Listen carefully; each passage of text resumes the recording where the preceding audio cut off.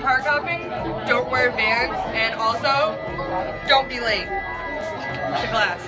Don't worry too much about your relationships. It's meant to be, it's meant to be. Time management is key. Learn to balance both social and work. Hi, rising seniors. Make sure you guys visit dream colleges and check out the weather, location, and requirements. Alright, so during your first semester, take Gov. Because during your second semester, you're gonna want that first period free, so you can wake up late. Hello, buddy. If you ever feel sleepy in school, put six chairs in a bar and you shall have a bed.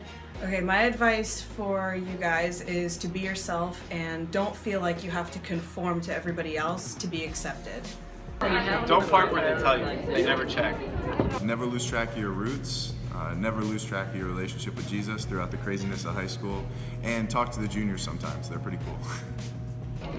Get you a friend that can send you a study guide for every single test. Everywhere. Anytime. Every day. Every minute. Every second.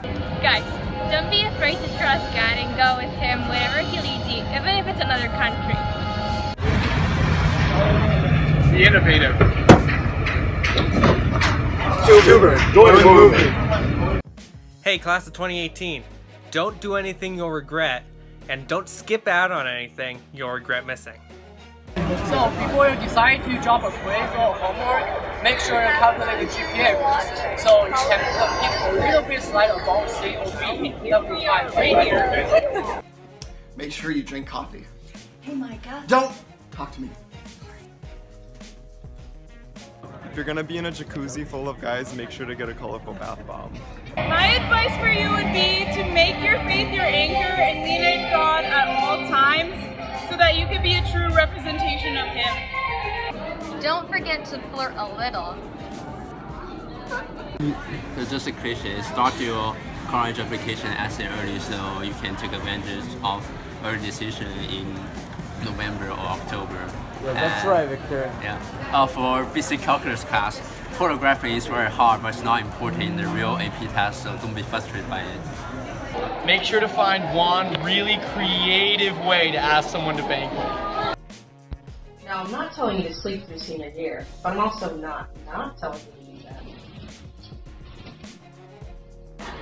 So my advice to you would be to get involved in school, uh, play a sport, go on a missions trip, do something, and always remember your identity in Christ, even in hard situations. So, uh, I heard through the grapevine that they're extending the barn, and I just feel like that's going to be a great opportunity for you guys to find like new and exciting places to um, to sleep. Don't forget, always take time out of your week to get those gains. Urgh. Your future will take care of itself, but um, enjoy now and make the most out of it. If you're about to be late to class and you know the teacher's going to mark you late, might as well have an adventure. Stay goals. It's okay to do something crazy in senior year. Always watch your back. Join the soccer team!